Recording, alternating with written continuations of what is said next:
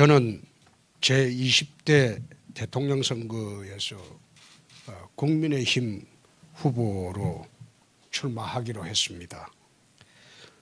국민의힘 당내 경선에서 이기고 본선에서 승리하여 빼앗긴 정권을 되찾아오겠습니다.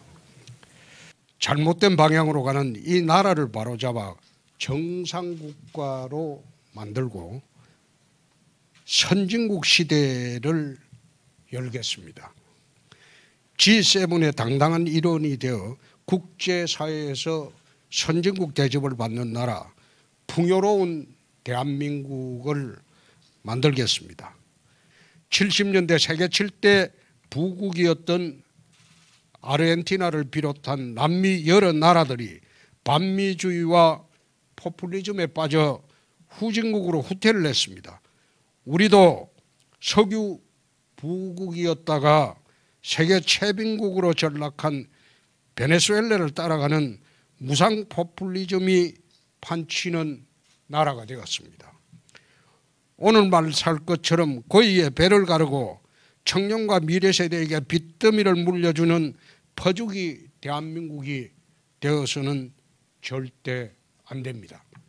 여기서 막아야 합니다.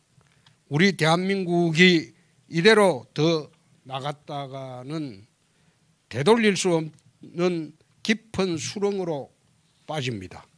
이번 대선은 단순히 여야의 정권 교체를 넘어서 나라의 미래를 결정하는 중차대한 대선입니다. 선진국 시대를 이끌어갈 이 나라의 주류 세력을 선택하는 그런 선거입니다.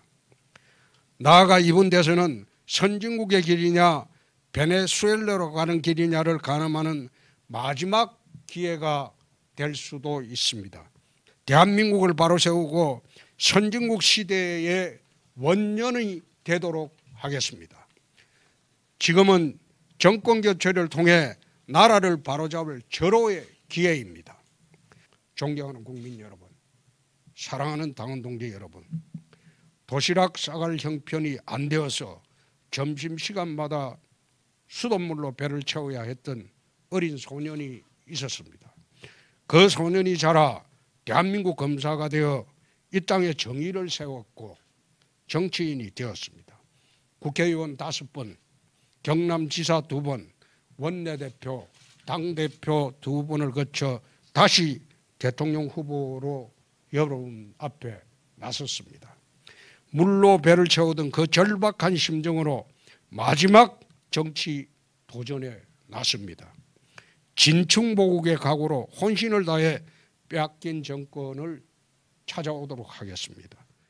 경선에 나온 모든 후보들 원팀이 되어